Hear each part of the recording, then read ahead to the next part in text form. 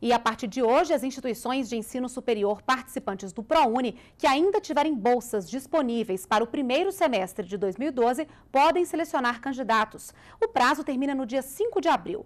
Uma das regras para as bolsas remanescentes é a classificação dos candidatos ou desempenho acadêmico avaliado pela própria instituição.